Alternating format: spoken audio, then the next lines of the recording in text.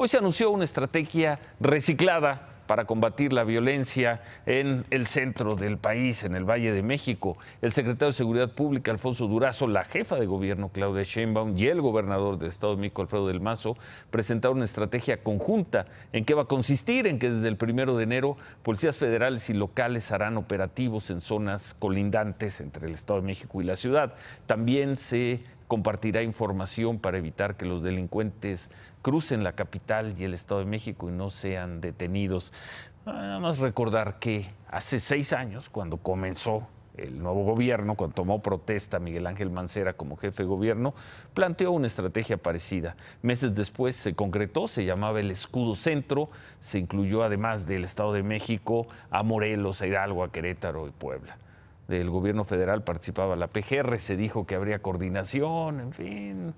Veremos si esta vez sí funciona. Imagen Noticias con Ciro Gómez Leiva, lunes a viernes 10.30 pm.